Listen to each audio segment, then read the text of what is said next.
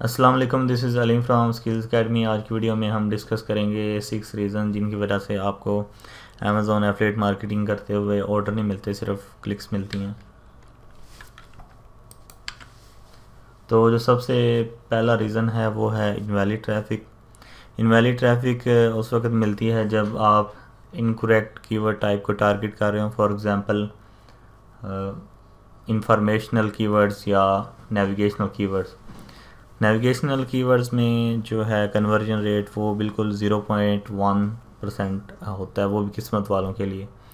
और इंफॉर्मेशनल में one percent हो सकता है, लेकिन वो भी कुछ कीवर्ड्स होते हैं जिन पे हो सकता है। मतलब हर कीवर्ड पे नहीं हो सकता, क्योंकि उनको सर्च करने वाला सिर्फ़ इंफॉर्मेशन की तलाश में होता है। या फिर इस तरह के कीवर्ड्स जिनकी कोई कमर्शियल वैल्यू नहीं होती, जैसे how to get free P S five अगर आप इस कीवर्ड के ऊपर रैंक भी कर लें तो कोई परचेज नहीं करेगा क्योंकि वो मुफ़्त वाली आवाम होती है और उनका कोई प्लान नहीं होता परचेज़ करने का। इनवैलिड सोर्स ऑफ़ ट्रैफ़िक तो सबसे ज़्यादा कन्वर्जन जो होती है वो जब गूगल में हम रैंक करते हैं ऑर्गेनिकली वहाँ पे होती है।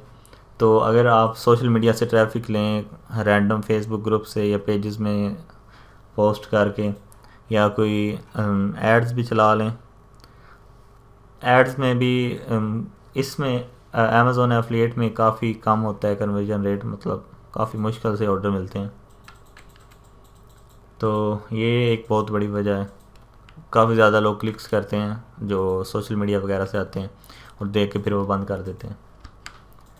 उसके बाद invalid country of the buyer मतलब अगर आपने वन लिंक या जीनियस सेट नहीं किया हुआ तो अगर कोई बंदा कैनेडा का आ गया है तो वो जब यूएस के अमेज़ोन के ऊपर रिडायरेक्ट होगा तो वो परचेज़ नहीं कर पाएगा क्योंकि हर कंट्री का अपना अमेज़ोन होता है।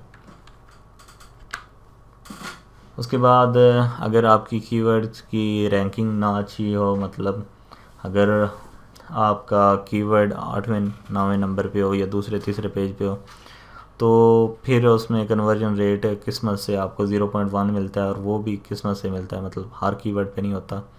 जिनकी काफ़ी ज़्यादा सर्चिज़ हों मतलब तीन चार हज़ार, वहाँ पे ऐसे होता है कि ज़ीरो पॉइंट वन से ज़ीरो पॉइंट थ्री परसेंट तक मिल जाए।